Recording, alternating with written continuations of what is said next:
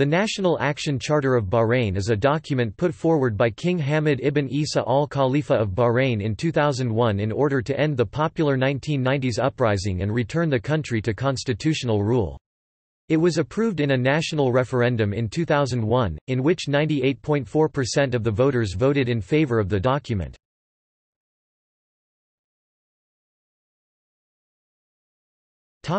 Referendum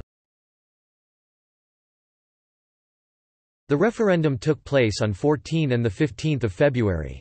Voter turnout was 90.2%, with 98.41% voting in favor.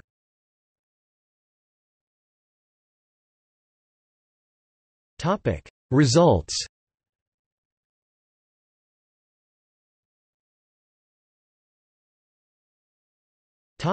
See also